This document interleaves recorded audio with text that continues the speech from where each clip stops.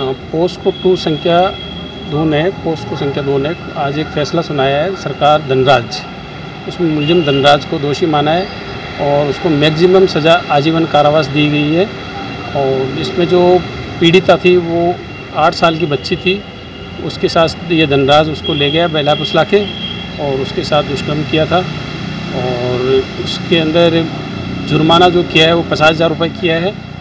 और करीबन इसमें 22 दस्तावेज़ अभियोजन की ओर से प्रदर्श हुए हैं और 10 गवाह अभियोजन की ओर से परीक्षित हुए हैं।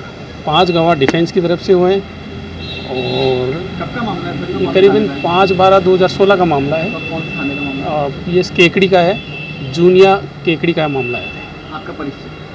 आपका परिचय? मैं विशिष्ट लोक अभियोजक पोस्को टू विक्रम सिंह शेखावत।